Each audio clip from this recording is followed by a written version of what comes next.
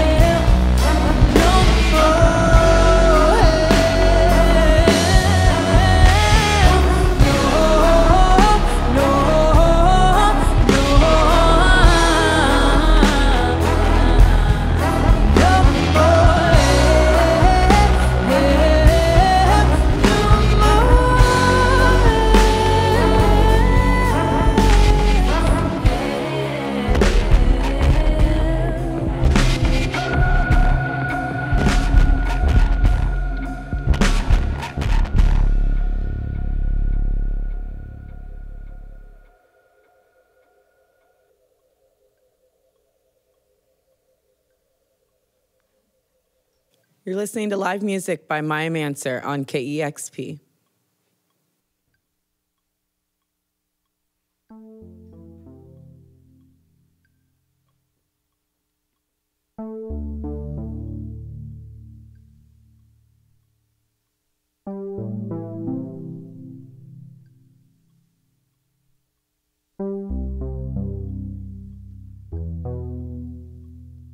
So gone you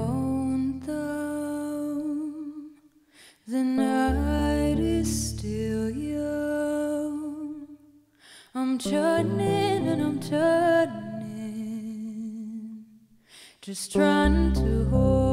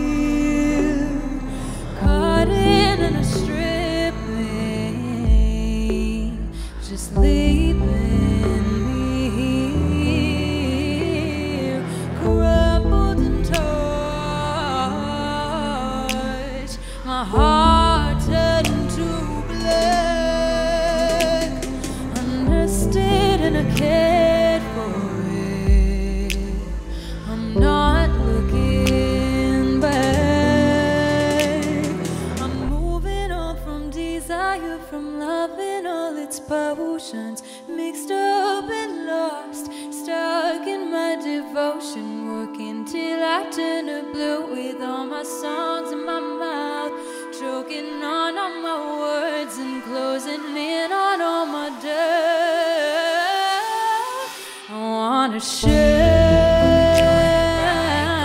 at the top of my lungs.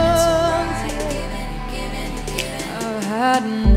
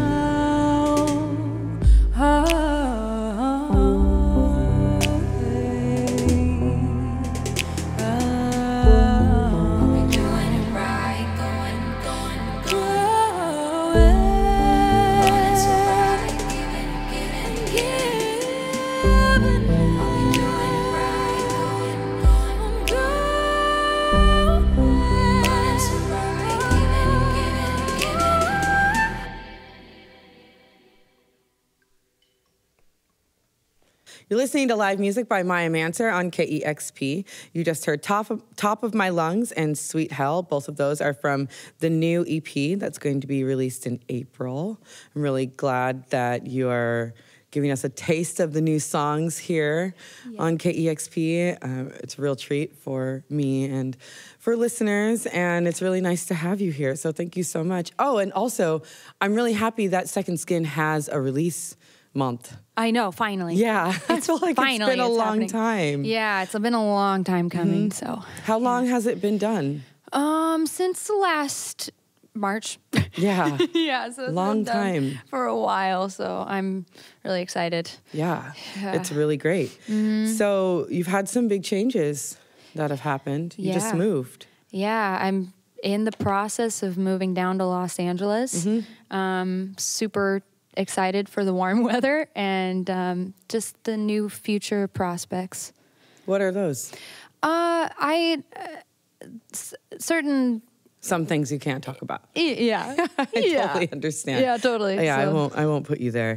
so you are a multi instrumentalist, Mm-hmm. which I I think is really cool. And so you moved here from Bend. yeah That's where you grew up, mm-hmm. and you moved to Seattle for school. yeah. I moved to Seattle for Cornish College of the Arts. Cool. Yeah. And so were you? Had you always been performing when you were in Bend? Yeah, yeah. So I, I grew up performing, and um, I, I I know it was apparent when because when I was four.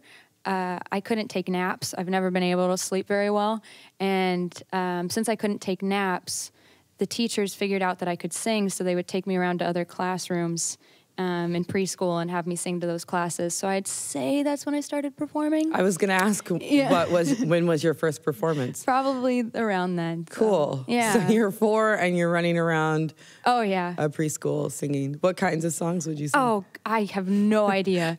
I have like no memory of it. It's Mm-hmm. it's. Uh, I had uh, my cousin had to tell me. Um, like years later, she's like, "You don't remember going around and singing to classes like every Seems like a really long time And I was like, "Oh, I don't remember." That. Yeah. Well, cool. So, so you just really liked singing at at that time, and you just really, just kind of moved into that process of. Yeah, yeah. I mean, it didn't really become apparent for me until I was about 6 Mm-hmm. because I won a talent show and I was like, wow, I want to do this. Mm-hmm. This is what I want to do. So, yeah. You like being in front of people. I just loved singing. Mm-hmm. I loved the feeling, and I was delirious enough at that age not to like have any, not to understand judgment. And so I was just like, I like singing in front of all these people. Let me share this with you. And you know, it's very pure at that age.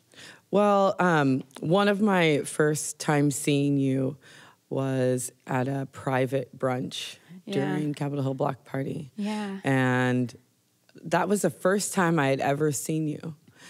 And I'd heard your music before, but you know, I hadn't seen you. Mm-hmm. And I was watching you and I really I really liked it. I was like, she's she's pretty cool. I I hope to see her again. And then just, you know, Second Skin came out as a single and I thought it was really cool. And then I decided to book you at the community partnership show that mm-hmm. we put on. And you put on like a crazy glorious performance. And I I just really wanted to know your history on performing because you're really great at it. And you just have this like pop star quality. And I, I've noticed that I've really started liking pop stars a lot. I and love so, I so. guess my my next question is like, do you have any performers that are inspirations to you?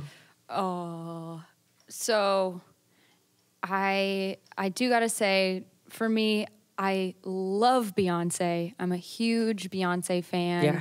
Um, but I will say that I got to experience going to the Grammys this past weekend. Did you see her performance? I saw her performance, and a lot of the performance. I know, I know Adele. I know she messed up, or she had that little mess up. But her, she embodies also just so much. You just watch her, and you're like, it's. I think it's because it, it. You can tell who's being genuine and who's being pure. Yeah. When they perform. Yeah. And who's just lets go. Yeah. And I think that's. It, it's it's a sound that travels for miles. Mm-hmm. Um, and so there was that, and also even just the John Legend performance. I was like, oh Yeah. my God, I, I had no idea just performing live, seeing these people, but Yeah. again, huge Beyonce fan. Yeah. So well, watching people can really affect like your, you know, the visual sense of everything. And Yeah. I don't know. And, and then you hear it and you, I don't know. I've never seen Beyonce perform, but of course I love Lemonade and, and everything. And just like, I don't know, when I, when I see her just putting everything into it and then you hear these songs and it's so wonderful. It's a nice visual oh yeah. effect. Yeah. Yeah. So you have um, Second Skin coming out in April, and you worked with someone pretty special on that. Mm-hmm. Can you talk about that? Yeah, yeah. I worked with producer Buddy Ross, and he just finished up the last Frank Ocean Blonde album. Um, I loved working with Buddy. He's just a super professional, and we clicked immediately, and it was just awesome. I. we're both goofballs, so like when we're when we're working together, it just it just flows really well, and we can make weird sounds for like six hours straight. So How did you guys working together come about? Uh, really funny. So I was at a feminist art show, and uh, with my boyfriend, and my boyfriend was like, "Oh, meet Buddy Ross," and I was like, "Hi." And then I checked out his beats later, and I was like, "Okay, we gotta hopefully work together." Yeah. How much So- influence did he have on the EP? Um, I mean, we really worked hand in hand together on it. Um, so we made decisions together on everything, but um, he had plenty of influence. I'm, you know, giving him songwriting credit and the whole thing Cool. for his time and everything. So he's a rad dude. Well, you are performing songs from the EP, so we should hear more. Yeah. Maiah Manser on KEXP.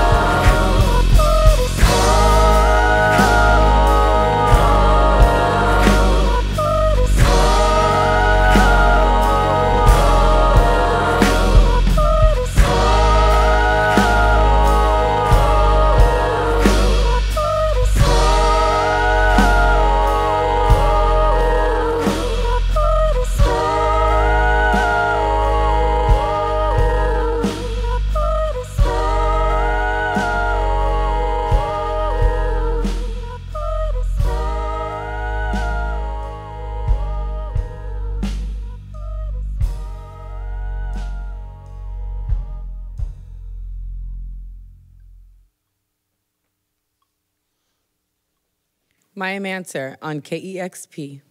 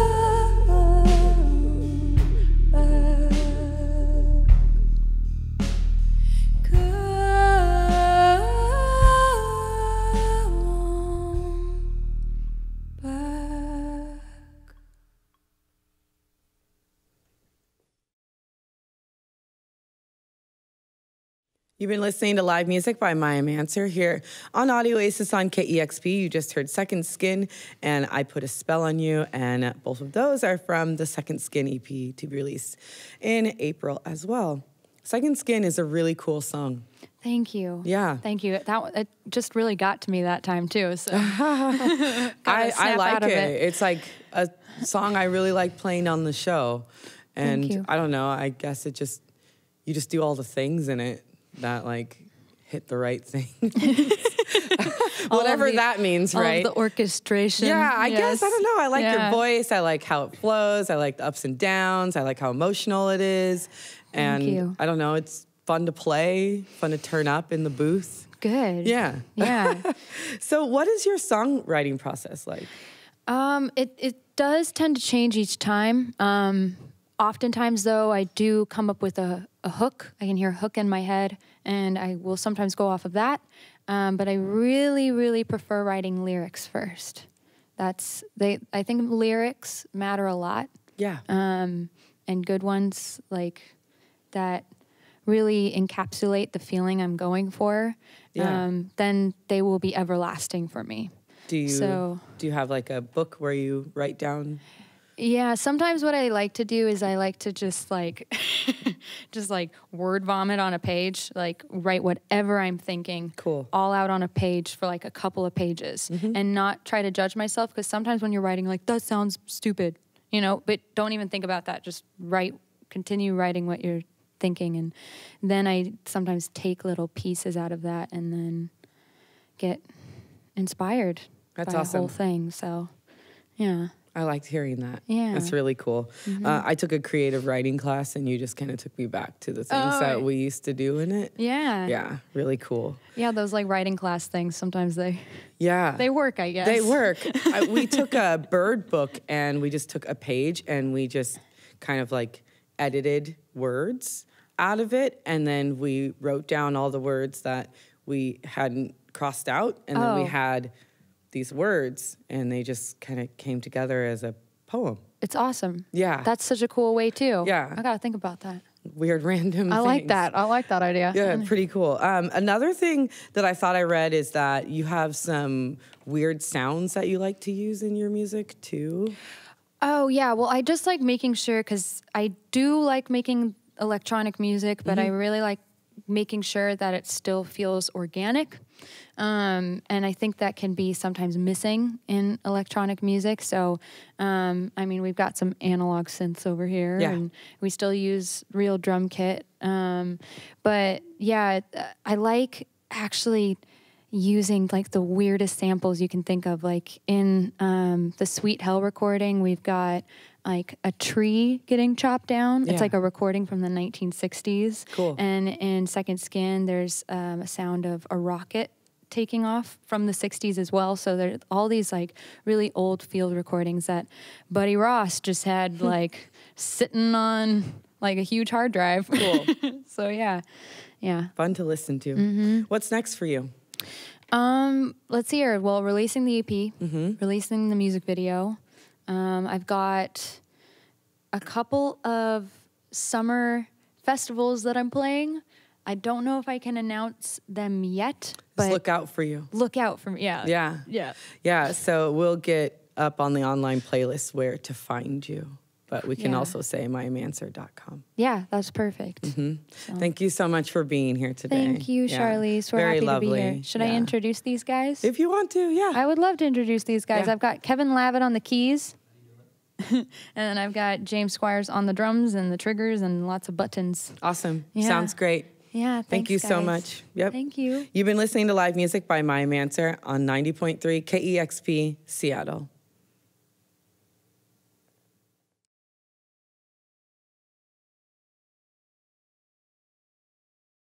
Discover new music at listenerpoweredkexp.org.